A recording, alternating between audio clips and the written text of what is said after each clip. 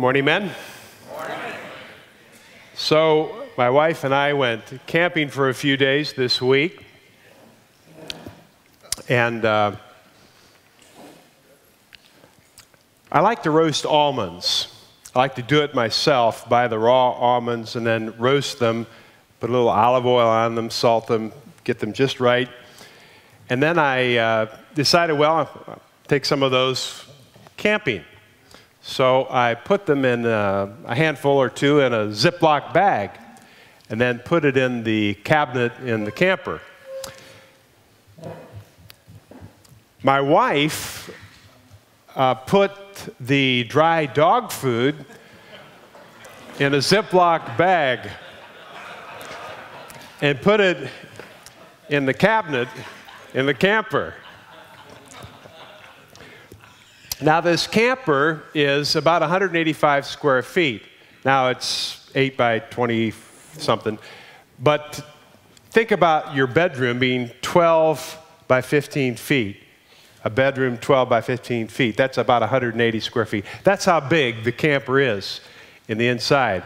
So I'm going to tell you, describe it to you. It has a, a dining room and a kitchen and a bathroom and a shower and a bedroom in 185 square feet. So it's not very big. So about uh, one o'clock in the morning, I hear this sound. Ah! Ah! Ah! ah! My wife had gotten up for a midnight snack. snack. She had been thinking about those almonds and uh, got up and stumbled around in the dark in this 185 square foot camper. And instead of putting her hand into the Ziploc bag with the almonds, she put it into the Ziploc bag with the dry dog food. oh, so I didn't sleep for the rest of the night. Um, we're going to close up this Men Reaching Men series this morning, and we're going to do it by celebrating changed lives. We're going to do it by celebrating men reaching men. I want to go ahead and begin, though, with a, a, shout out like we, we do. And today, the shout out goes to Journeymen. And it's, they're men from Edgewood Community Church. And uh, I did this on Google Translate. Waupun, Waupun, Waupun. Anybody know that city? Waupun. Waupun. Waupun, uh, Wisconsin. And the leader there is our field rep in the area, who's Paul Neville. He actually lives in Brandon. I should have said just Brandon, Wisconsin, right? And uh, there are five men who've been meeting for uh, a year on the second and fourth Sundays of the month at 7 a.m., and they're using the, the video Bible study with us. And so I wonder if you would give these men a very rousing man in the mirror welcome and welcome them to the Bible study. One, two, three. Hoorah! Welcome, guys. We're really glad to have you as part of the study. So, yes, the series has been Men Reaching Men, and today, a Men Reaching Men celebration. A quick review we've had a number of ideas, big ideas, and, and applications uh, for the series, but kind of like the overarching big idea has been this uh, uh, concept of intentional spiritual friendships and intentional spiritual uh, friendships. Here are the big ideas we've looked at. Uh, discipleship is one man caring enough about another man to help him build a, three things a relationship with God, a worldview that's biblical, and a lifestyle worthy of Christ.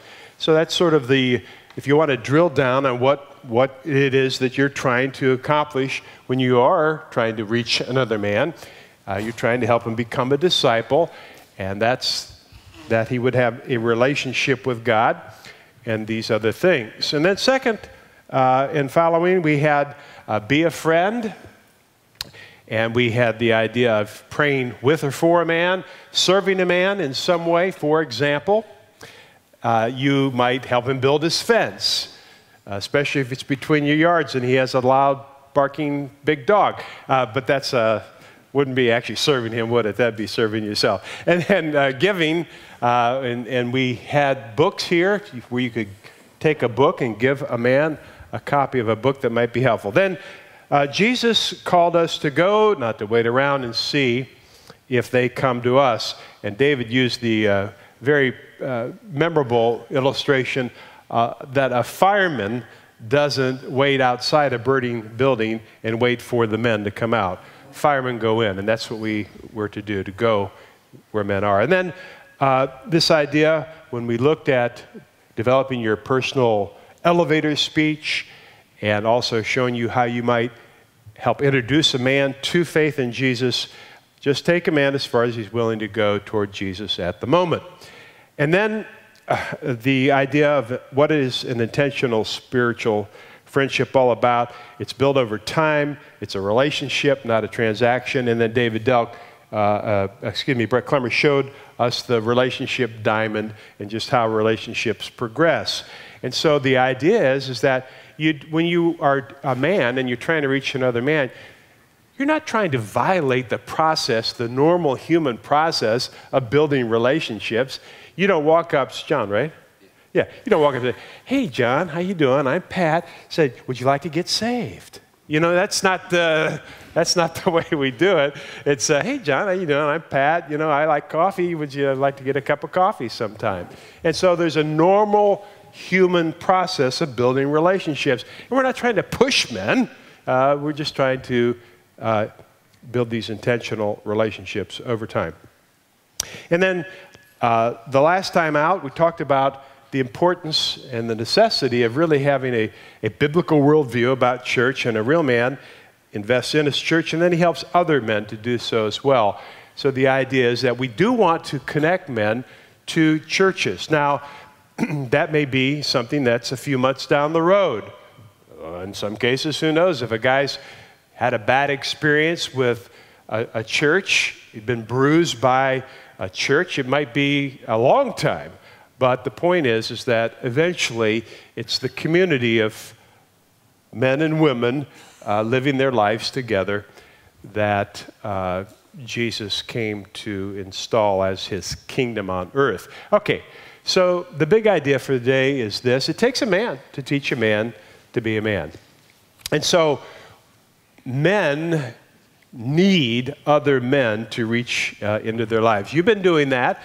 You've been doing that. And so today uh, we just want to open it up and have you share your stories, some of the stories that uh, you've been able to. In these last seven weeks, we've had a, a number of different uh, applications uh, suggested. One would be to just have a cup of coffee with a guy, another was to uh, serve a guy in some way. Um, uh, Brett gave the illustration of a man that he worked with that had a car in the shop. And so he was told Brett that he was going to have to take the bus to come to work, uh, to go home from work. Maybe both, I can't remember. But anyway, Brett volunteered to drive him home from work.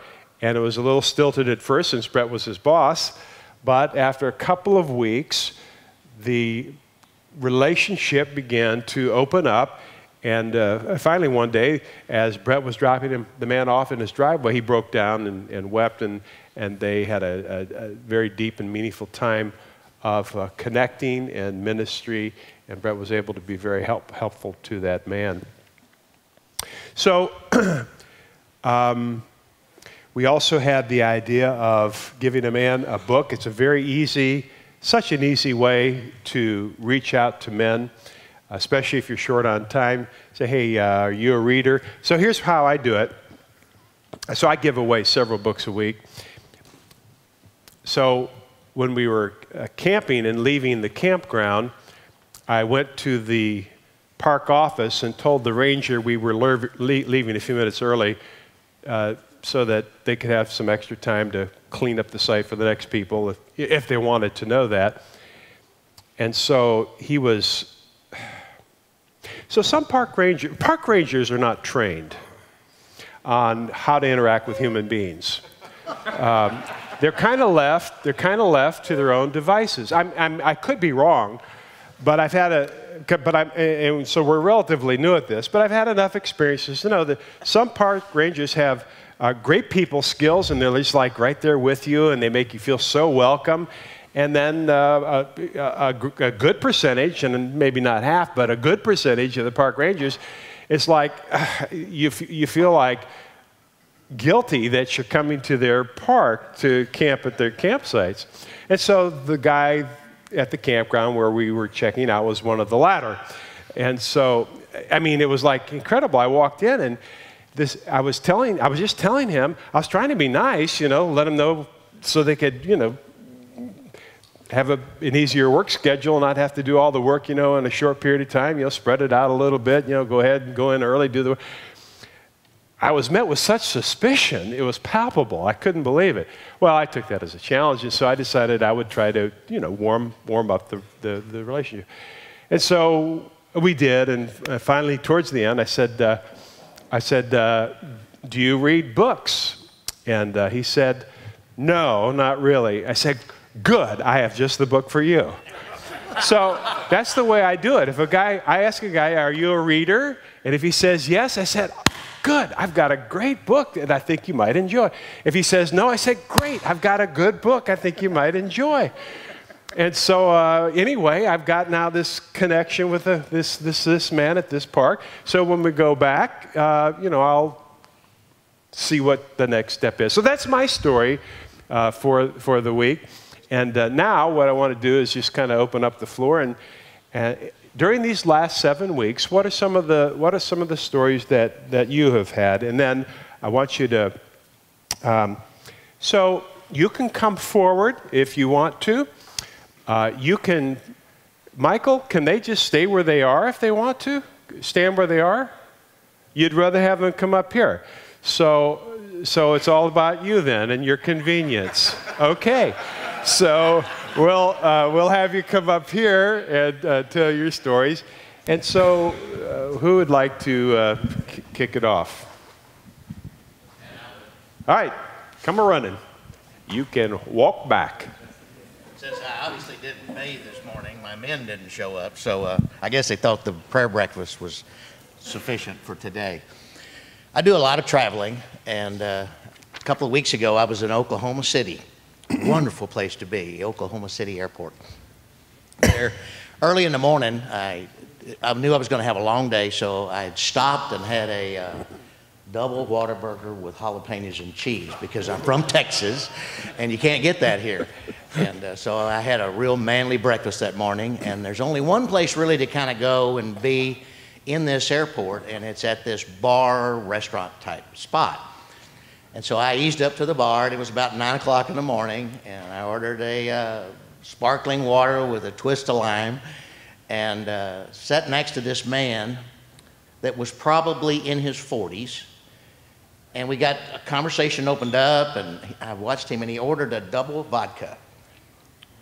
But when he ordered it, he'd already had that before. And I wasn't paying too much attention, but he had three of those while we were sitting there talking. And I come from a real heavy drinking past in my life, and I really know what tolerance is. And that would have put me on my uh, skinnies. But uh, we got to talking, and the guy was headed to a concert in Tempe, Arizona. And uh, he was asking me to help him because it was obviously he was kind of getting out of whack. And when he handed me his driver's license, it said not for driving. and I went, okay, we got a problem here.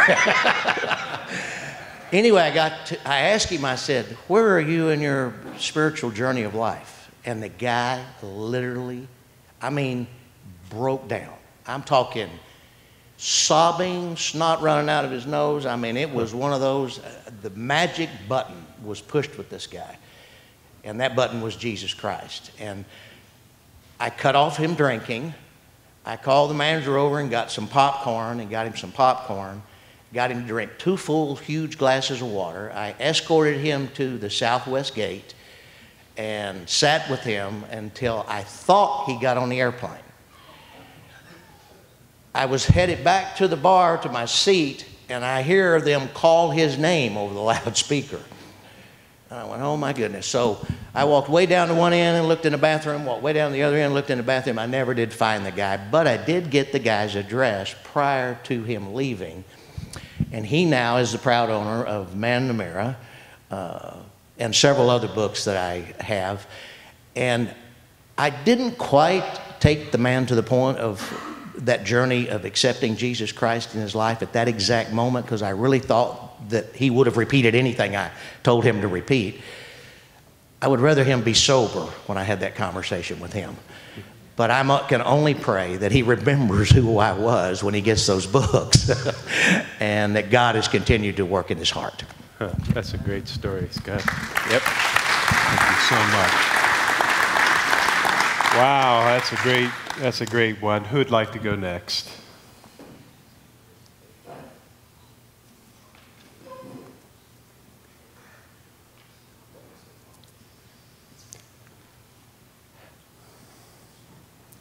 Dave King. Thank you. Thanks. Uh, okay, uh, I'll try to make this short. Um, one, uh, most of you, many of you know that I do uh, jail and prison ministry, and um, every week I, I do a message to a group of guys, not quite this big, but about half this size. Let's do that. So um, this week, the Spirit was moving, and we did an altar call and had maybe 30 guys come up, which is pretty uh, about half half the room and it was pretty remarkable. That was an experience uh, uh, very interesting, but I don't, that's not the experience we're talking about here. That's a different one. But I say that because I, I think everything that we do in this area kind of lends toward contributing to the effect and the power of uh, all that ministry that we're doing every day. Uh, in this regard, the intentional spiritual friendship, I, have, I live in a condo building, and there are three guys in that building that I've started to pray for. And so, uh, uh, just in the course of these last few weeks, praying for these guys, uh, I've gotten to know one of them pretty well. Um, at first, you know, I would pass by this guy. He would be sitting like with no shirt on, smoking cigarettes and putting the ashes out in the, on the uh, walkway. And uh, kind of I'd say hi on the way by, but I'd never say anything at all. And uh, in the course of this process, praying for him, praying uh, uh, for this relationship, we've gotten to know one another because that has been a priority. And uh, that relationship has well, become good enough to know that, you know, he plays games, uh, he's a poker player, and we talk about that. That's a touch thing because we I play poker too, and so we've gotten to develop a pretty good talking relationship. And this is a guy who's kind of a loner. He's kind of uh, by himself, you know, and obviously he doesn't have a lot of friends coming around. I don't know. I don't think he goes out to see a lot of different friends. So I'm getting to the point of uh, having that talk. I'm inspired by, by the uh, instant connection, but this is more kind of the, the long term deal. Uh, hopefully, it'll be a relationship that we can uh, just build on gracefully and slowly and permanently. So. Awesome. Thank you so much, Dave. Great job. Great job. Okay, next. Aubrey Truex. Um, so when Pat gave us this challenge, I thought, well, you know, who can I invite out for coffee? And so as I prayed about it, I just felt like God was telling me to approach a guy that I work with. And so um, uh, I did. I said, hey, let's just go out for coffee. He said, fine. And so he comes from a uh, Latino background. So we went across the street and they have this um, restaurant that has all these different coffees. So he was really into that. So that was a plus. But uh, as we got talking, he said, you know, uh, I used to be really into music. I play bass guitar. I was in a band, but now I'm, you know, married and I've got kids and I just don't have a lot of time for people. In fact, I hardly have any friends. And so uh, I really appreciate you inviting me out and, and getting together and stuff. And, and basically, he just had a lot of stuff that he's processing, you know, because he's got from a blended family and, and that kind of thing. And, and I came from that background as well. So we were able to talk and stuff. And so after that, then I gave him the Man in the Mirror book, and he was really interested 24 things, you know, that I can be able to find out about, you know, uh, being a better man. And so uh, that conversation is just getting going. He's reading that book at home home. Uh, I suggested maybe we could go over, you know, a chapter when we get together the next time. Uh, since we work together, we see each other all the time, and so you know he's warmed up in his friendship and stuff, and so that's been great and it's just a continuing story to see where God leads leads that. But one other thing um, that I have the privilege of is out at UCF, I have the opportunity to interact with a lot of international students, and uh, mostly they're uh, from either India or Iran. And uh, so these are not guys that I can just walk up to and say, "Hey, you know, would you like to be a Christian?" But they're people who uh, don't know very much about Jesus and the Bible and things like that. And so I have the opportunity over many cups of coffee to be able to, you know, progressively, you know, just discuss who Jesus is and why he's important and why they might be, uh, why it might benefit them to learn more about him. So, you know, it's a great encouragement. And Pat, thanks for doing all that for us. Great, great. Thank you so much, Albie. Isn't that awesome? Wow, this is great. Charlie Fitzgerald. All right. Um, I had the opportunity uh, in my, uh, I live in a townhouse uh, kind of gated community, and um, there's a community mailbox.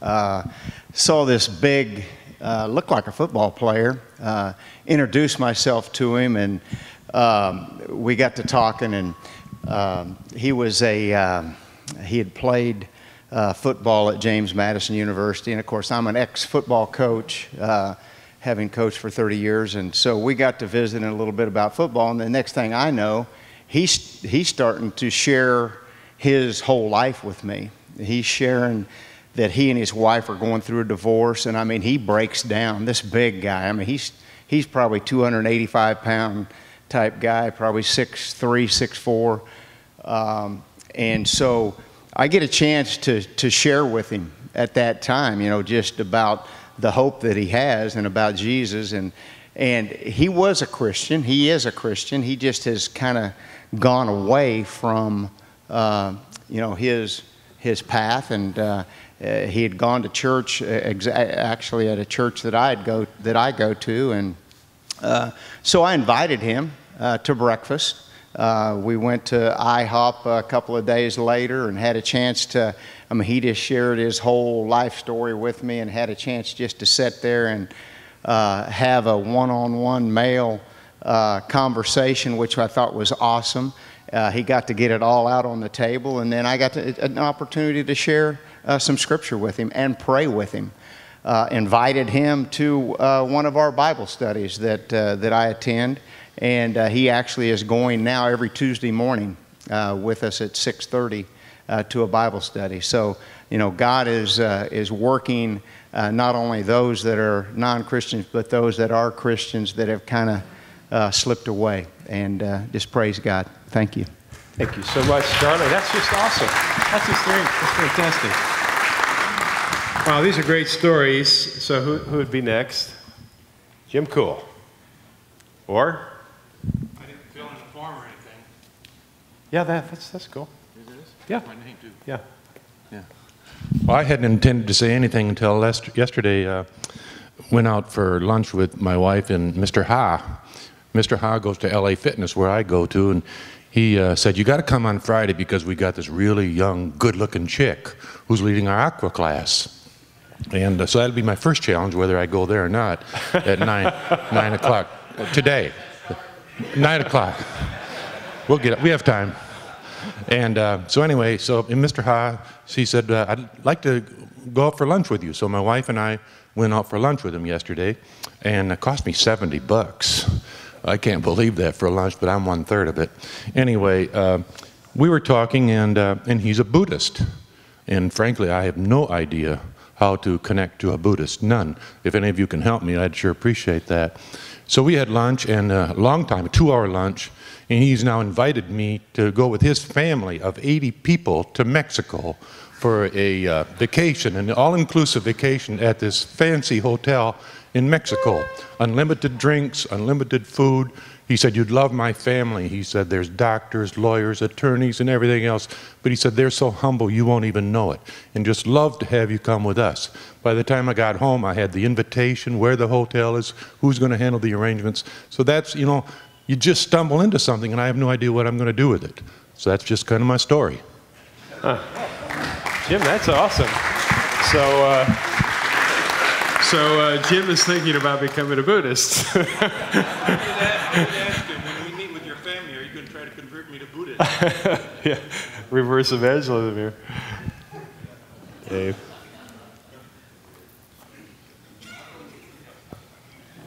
David Holbrook. Well, I could be the oldest guy here, except for Patty. I'm a year older than Pat is, but I've been coming uh, from the beginning. 30 years. And uh, Lyle told me to come up and speak. I said, "What am I?" I, I, don't- I I had no idea I was even going to say anything, but I will say this: men's ministry has been real important to me personally because over the years I've learned by sitting there for 30 years, there's a variety of ways to close the sale. And I'm not a salesman, and I've never, and Pat is a salesman, as you, as you know. And he has taught us, you know, through this process of the unique problems that men have, that we're sometimes planting the seed, some of us are, you know, hoeing around the seed, and some of us are watering, and and there occasionally occurs a time in our life when you, you actually see the harvest. Somebody does break down and, and they hear Jesus knocking at the door and they open the door. That's happened to perhaps everybody here. But the, the one thing that I want to try to remind, and this is the, the, the personal example, uh, over the years I've had a variety of friends, and I grew up here, so I went to high school here, know people, and so forth. And there, there are events in life when God actually says to you, you know, you might want to just talk to this person.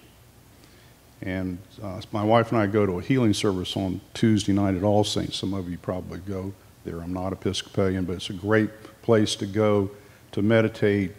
People are at the very edge of their life, some are losing their lives. Ran into an old high school friend of mine who was there, said hello to her. She said, uh, I asked about her, her husband, who was a friend of mine.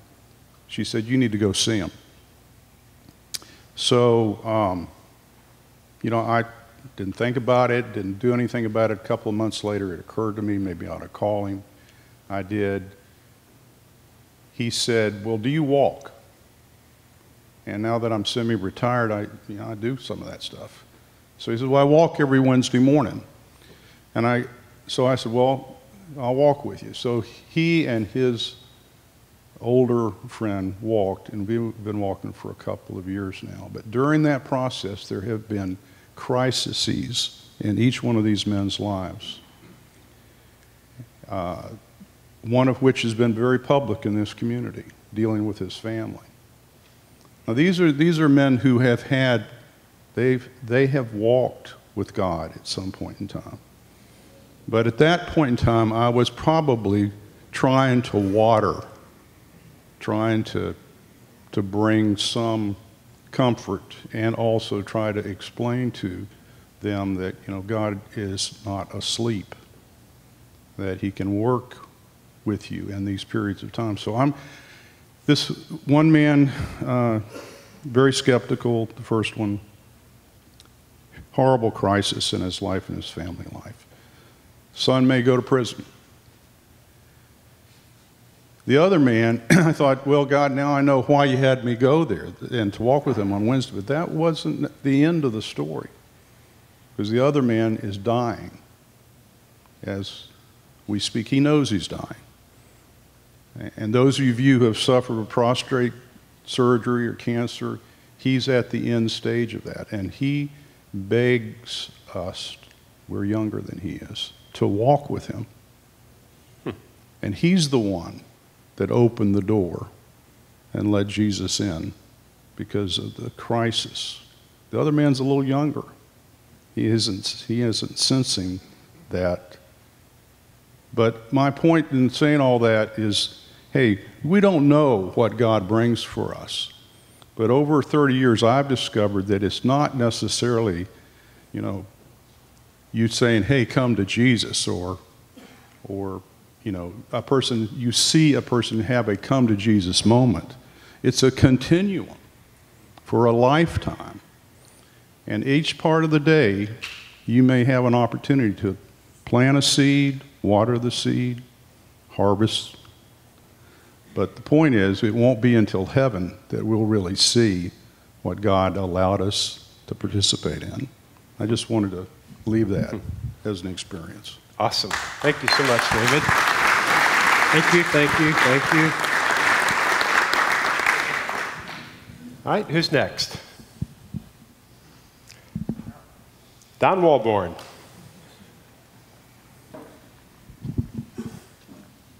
Thank you, Pat. Yep. I guess my message to you this morning would be if you're willing, God will use you where you're at. And um, recently I've had the privilege, opportunity to, to go down to the VA quite a bit, the VA Medical Center. And believe me, if there's a mission field, it's down there. You see vets from all over, and they've got all kinds of problems. And not, nothing's fast down there at the VA center. You go in there, you sit, and you wait, and you wait, and you wait. But as, as you wait and start talking with fellows, you begin to realize that they're a mission field. And the first time I went down, I kept on saying, man, I wish I'd have brought my Man and Mirror book with me. So the second or third time, I started packing a couple into my briefcase, my knapsack, as I went down there. And as I was talking to people, it's not just a matter of just shoving a book at them, but as you talk, start talking to fellows and start hearing some of the things they're going through, you know, it's like Pat says, do you read? I said, you know, you're going through an awful lot. You know, there's an awful lot of things that are going on in your life. And I just let, want you to know I care. And there's some things here. This is a, a book that was written by a friend of mine up in Winter Park. And it's helped me an awful lot. Would you be interested in, in reading it? And more often than not, the answer is yes. And um, so I usually give them a card.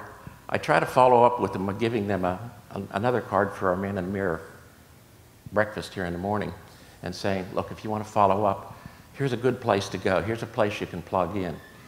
But the thing is, be open, but be intentional too. Be intentional to, as you listen to them, to realize where their pain points are. And you're not going to have the answers to their pain point, but you can say, here's, here's something that's helped me. I'm sure it can help you too. And you'll be surprised how the Lord works. i have been surprised. I've, ironically, I've run into the same man down there several times. He's a retired doctor from the medical center. And um, he's been very open about sharing to, to, me then some of the struggles he's going through and how much it meant to, to him when I did take the time to uh, talk with him and share with him a little bit. So be intentional, and God puts you in a place. That's your mission field. Hmm, that's great. Thank you so much, Don. Got it? Yep. Beautiful. Beautiful.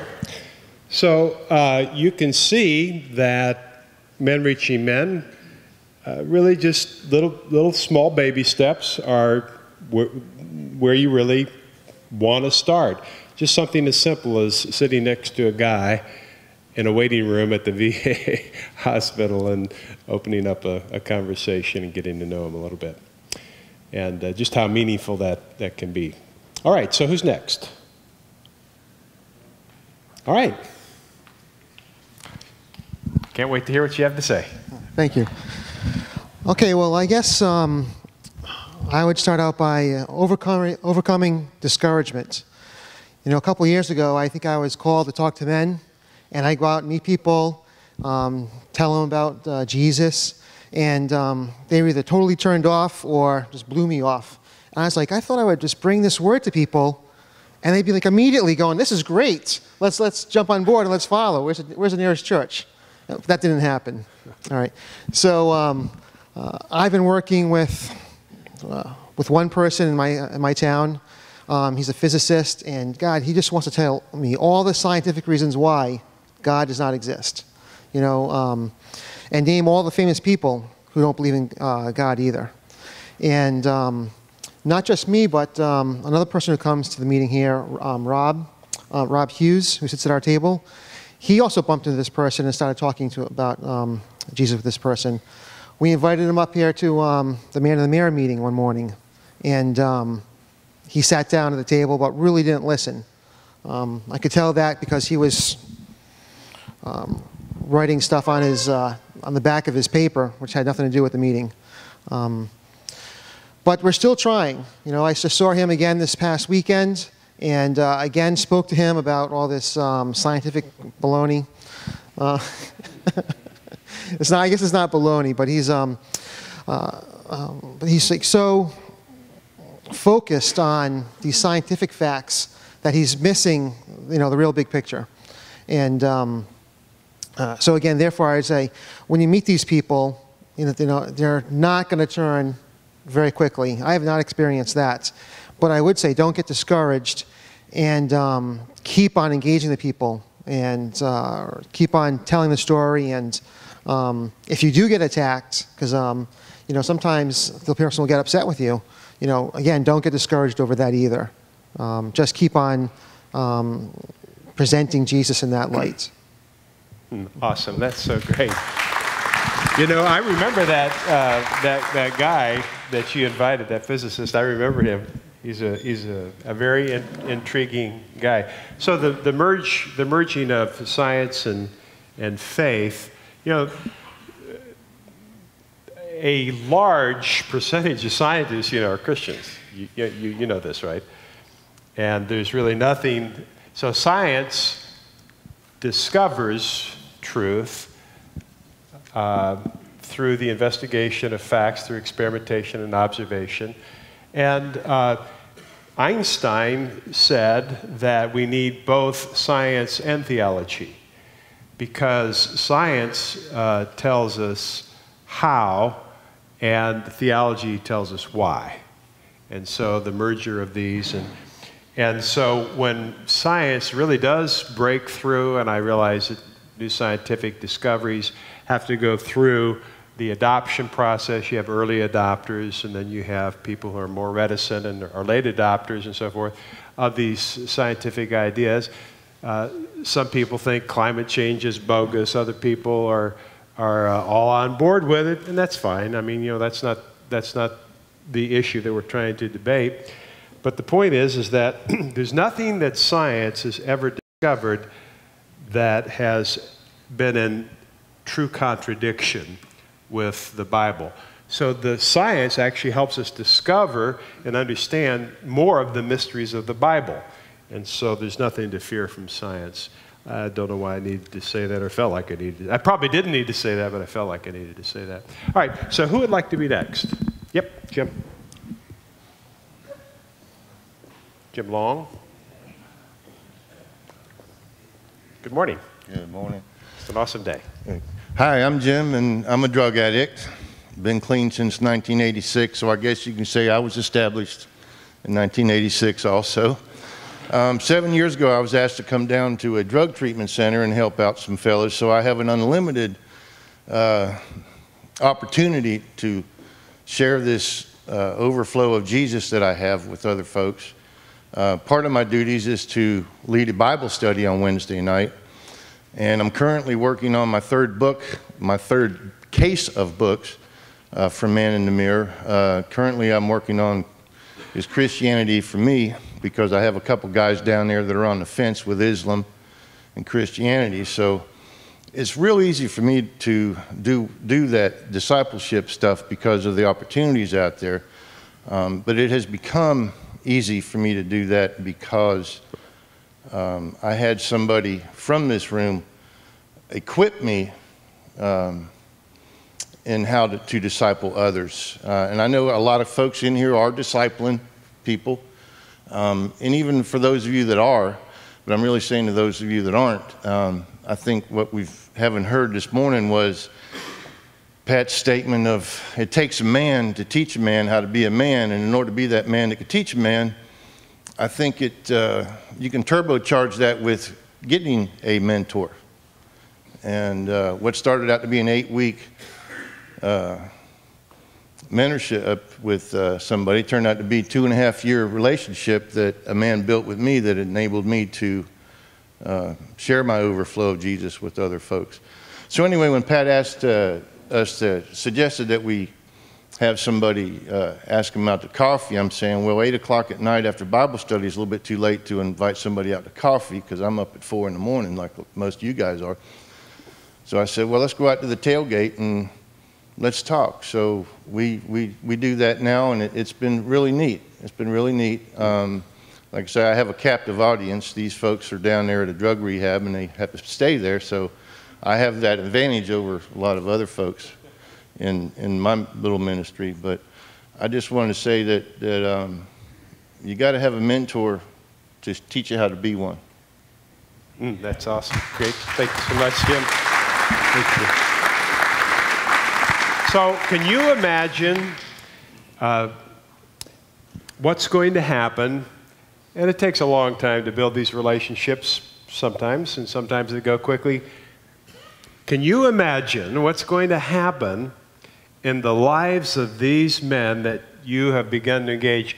And I think, I think we have 76 men who have indicated they've already initiated some kind of contact.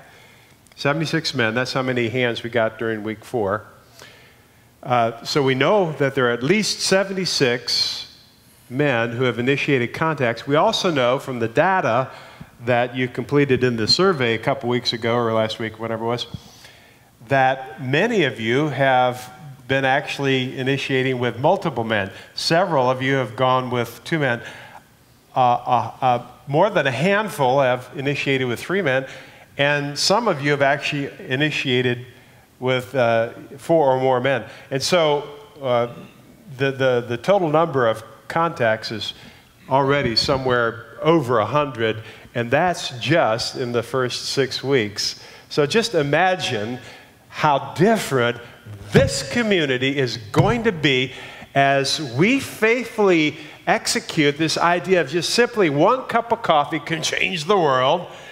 And just think about over the next 10 years, all the conversations you're going to have, whether it's one a week or one a month or one a year. If you have 100 men having, having uh, 10 conversations a year. That's a 1,000 men. That's 10,000 men over the course of the next decade. Can you imagine the impact on this community, how those families will be dramatically altered. Many of those men will come to faith in Christ or come back to faith in Christ, and their entire family lineage is going to be set on an, a whole new course for generations to come, and their children and their children's children are going to know Jesus Christ and have the peace of Christ ruling in their hearts, and they're going to have a biblical worldview. They're going to have a relationship with God. They're going to have a lifestyle worthy of Christ, and it's going to continue this to be a beacon city in the whole of the United States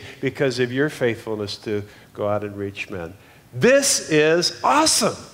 This is awesome. Don't don't think we're just talking about having a cup of coffee with somebody. It's so much bigger than that. Who would be next? Okay.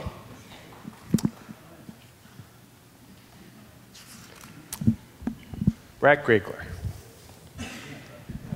Thank you, Pat.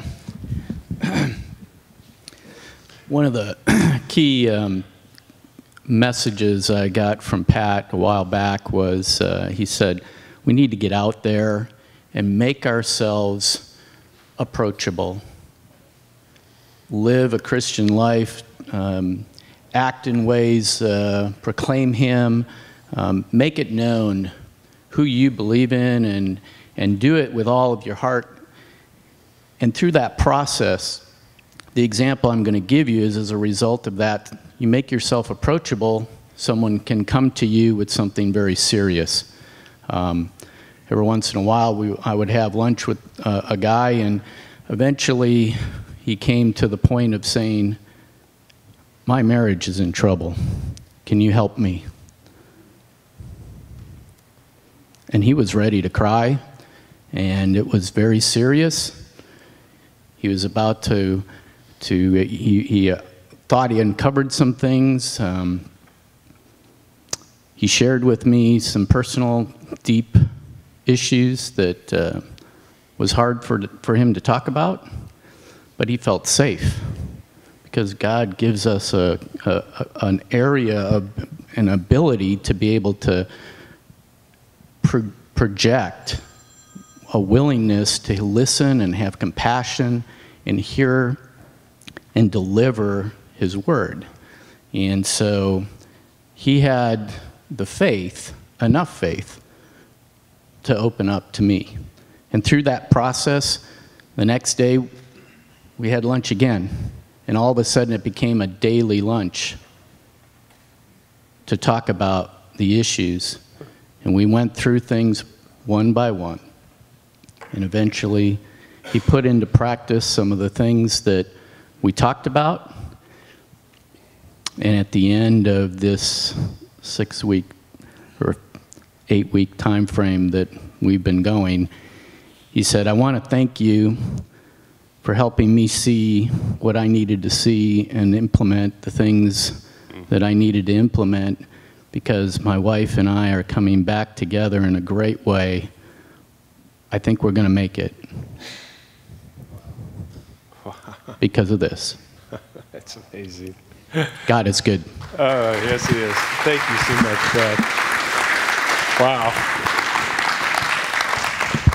All right, well, that's just so wonderful. Uh, that's a great place to stop. Let's tie it off. Let's give all the men who shared a big round of applause, expressing our gratitude to them.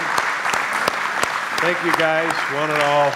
Great stories of how men are reaching men, and why is it important? Because it takes a man to teach a man how to be a man.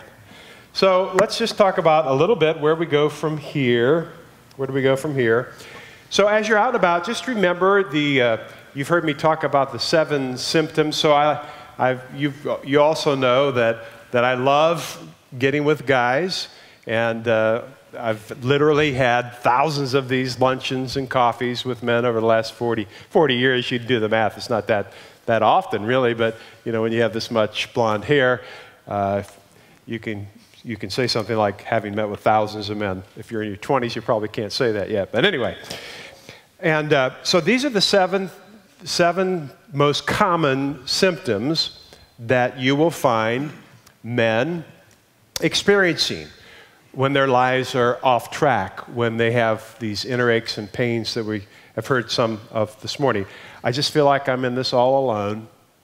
There are a lot of guys out there, they're, they're just lonely. Uh, you heard it here this morning. They don't have friends. I don't have any friends.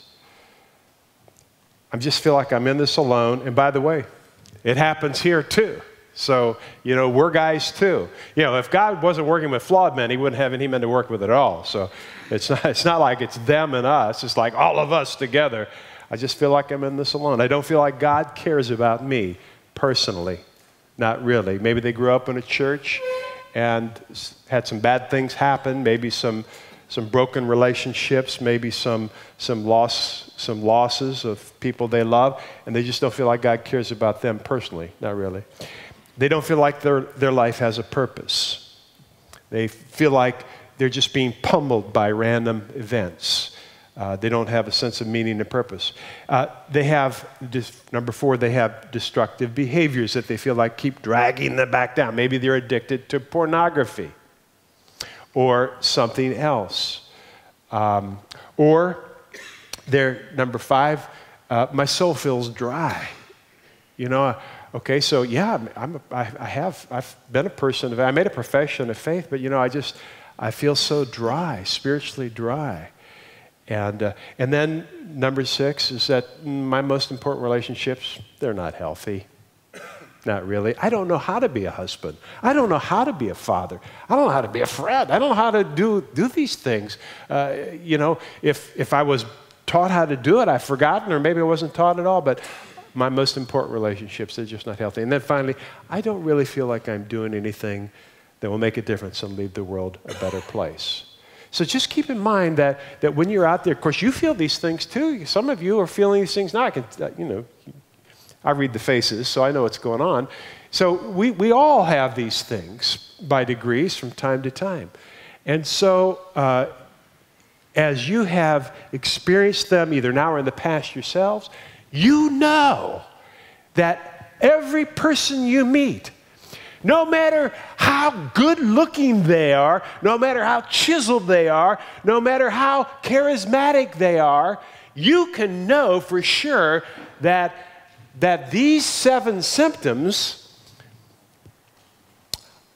are either actively going on in their lives, or if you will build a friendship with them uh, within the next 12 months, something, one of those things is going to happen in that man's life. You, just, you can just know that. You can go to the bank on that. Uh, are there exceptions? Yeah, sure. But you can go to the bank on that. It's going to happen 99% of the time. So, if you have not yet, if you raised your hand at the beginning, and remember, I told you, don't raise your hands for me. I said, this is between you and the Lord. So we all raised our hands. I, I, I didn't see anybody didn't raise their hand. That, that we would make, uh, we, we would say that we, before the Lord, that we were going to be a man who wanted to reach other men, and we were going to make a commitment to at least have a cup of coffee with one guy. So if you haven't done that yet, it's not a problem. Grace, lots of grace. We said this is a long term process, and uh, you may not have run across the guy yet.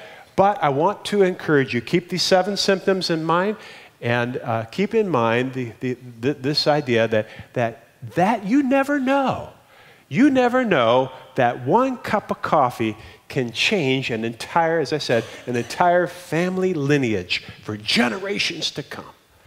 So you have, that is the potential. Uh, so where do we go from here? Let's, let's just keep doing this. And then for those of us who now have, have experienced this and uh, maybe for the first time and you realize, oh, this is actually not as hard as I thought it would be. You realize that the, the, the devil's been whispering uh, in your ear, and now you realize that uh, he doesn't know what he's talking about. So, um, a couple of a couple of ideas that didn't make it in. Uh, if we had done uh, a nine-week series, we would have had a, a couple of more big ideas. These could have been them. These are ideas that I so distressed that I didn't get to share. I'm going to share, share them anyway. They're kind of like the, you know, after the movie credits, they show you a few clips that they that, that got on the uh, got the, the, last couple clips that uh, ended up on the cutting room floor.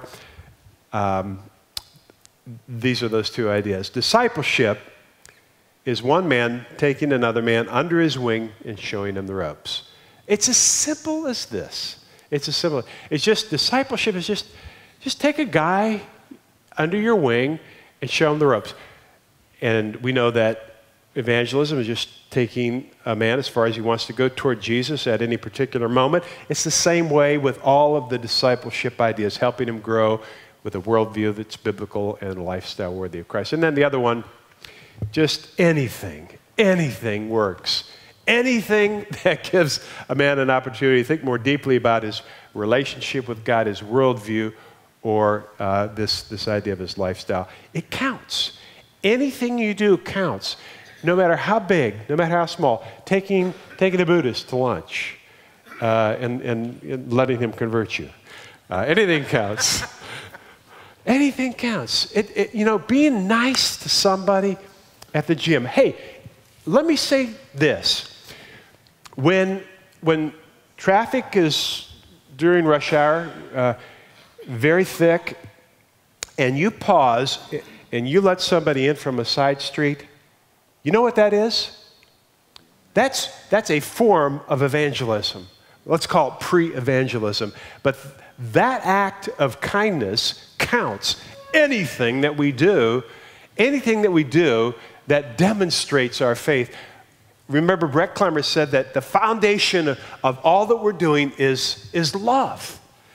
Any act of love or kindness does have an impact. Now, that person will probably never know that you did it because you're a Christian, but it will change their state of mind, their perception of mankind, make them more open. Who knows that maybe in the sovereignty of God, He was orchestrating you to let that person in because he had had a fight with his wife and, and he was going to be late to work, and now he's not late to work, and, and so now he's in a better mood. And, and so then, and then one of the other guys in the room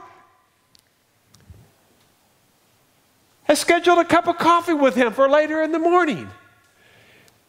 And now he's going to be more receptive. You just don't know how the mosaic is being put together by God at any particular moment.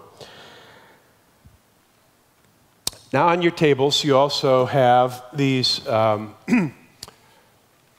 accountability cards. We've given these to you before, and I'd like to encourage you to pick up one of these. So,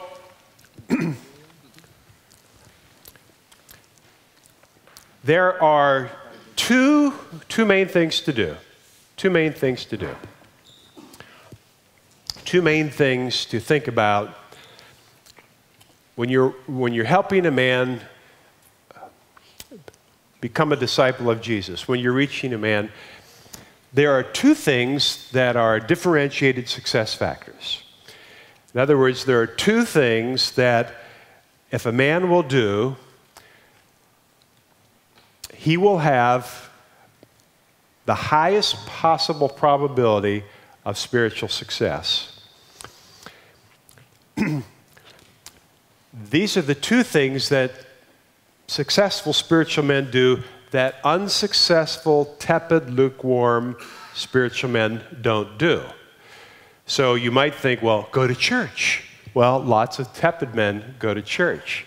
So going, church, going to church is not a differentiated success factor. It might be a success factor, but it's not something that differentiates the successful men from the unsuccessful men.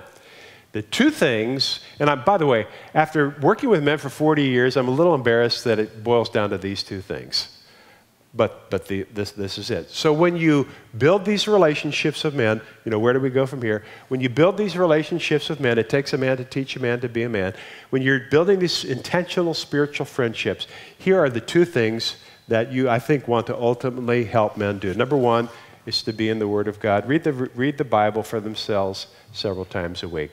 There's some scholarly research that indicates that uh, about four times a week is a tipping point. Four or more times a week is kind of a tipping point. So you should be encouraging men just to read the, get into the Bible for themselves. Um, you know, 10, 10 minutes a day, four days a week, something like that, uh, or, or more.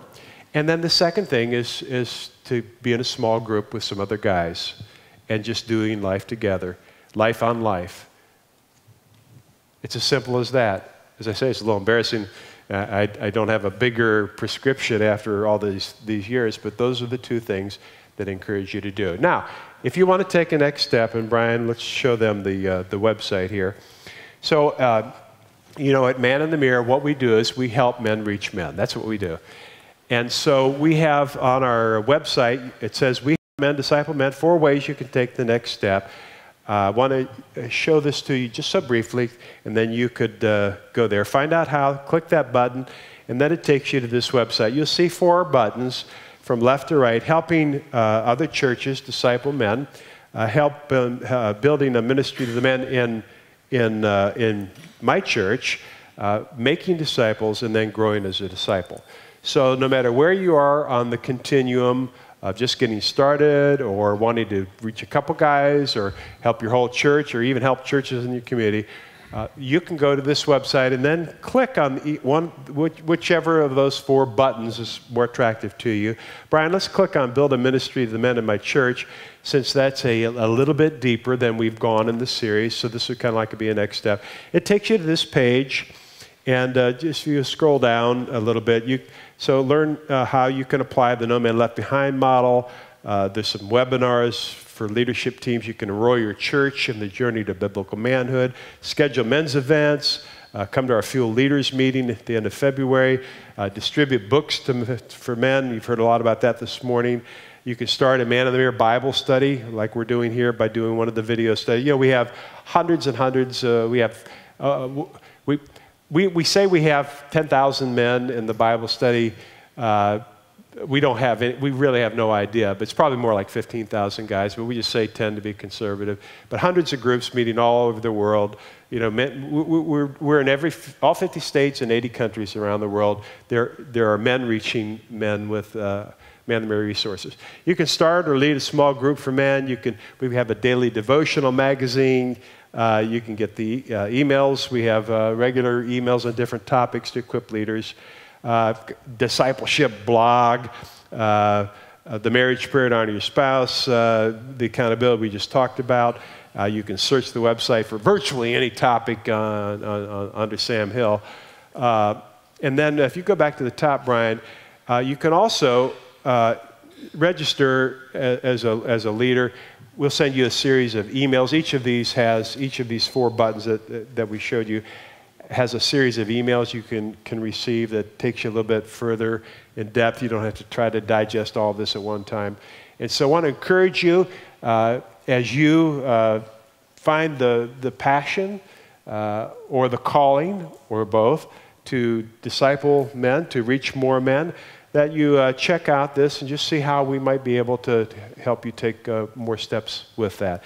And so, with that said, I think it's about time to tie it off.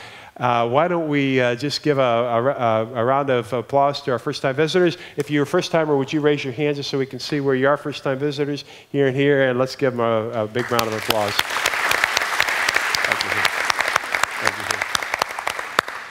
And uh, we're not going to do first and second time table this morning. We'll just kind of like move all that forward uh, uh, two weeks. Next week is Thanksgiving. We'll not be here, so obviously uh, keep that in mind. And uh, we'll see you in two weeks.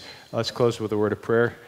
Our dearest Father, thank you for this series, Men Reaching Men. We thank you for the men who are reaching men, and just, Lord, how thrilling it is, how exciting it is uh, to, to, to see men who have been doing this for a long time, uh, getting uh, uh, fired up even more. And then also, but the men who are doing it for the first time, Lord, who are kind of taking these baby steps and uh, just uh, little toddlers really uh, at it. But, but just for them to see the, the, to hear and see the joy that they're experiencing as they see men responding in different ways.